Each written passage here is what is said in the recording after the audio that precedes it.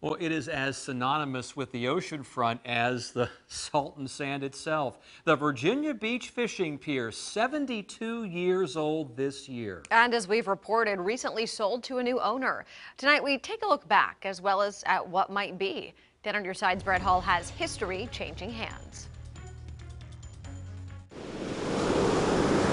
For nearly a third of a century, Virginia Beach. The wooden pier between 14th and 15th Streets at the oceanfront has been home to recreation, Oh, you got two on. You got two on. relaxation, and Bobby Lockman's occupation. It's special. It's special to be able to come to the oceanfront over the beach, you know, for every day of work. Lockman is president of a company that has owned the pier since it was built. It was 1949 when Lockman's grandfather, Eddie Lockman, got together with members of the Bonney and Murden families. So, did well, why don't we try to build a pier up in Virginia Beach? After spending $250,000, in 1950 the pier opened, spanning nearly 1,000 feet. The pier was all at this level we're at right now. Since that time, not much has changed. It's still a place for friends to meet, We got a group of locals that come here every day.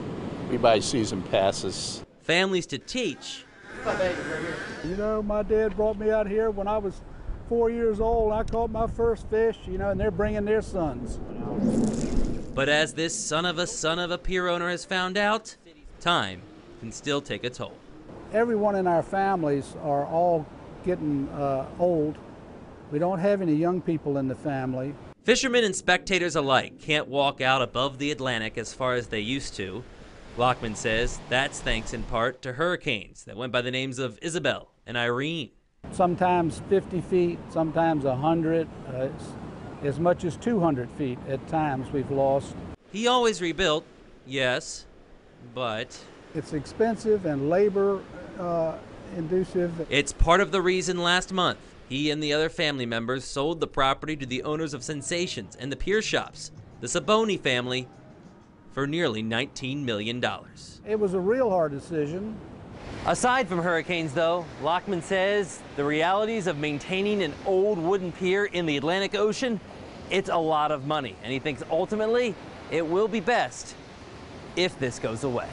You have the fire threat, you know, higher storm threat, but I would hate to see this go.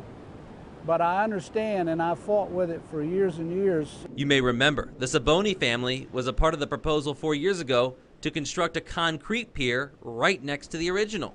See, he's got the perfect piece of property over there. To build hotels on this side of the street, you need to put the parking garages over there.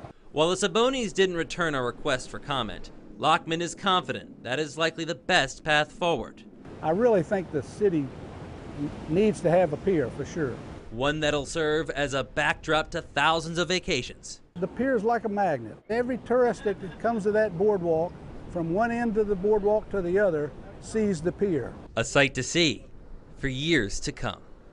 At the Virginia Beach oceanfront, Brett Hall 10 on your side.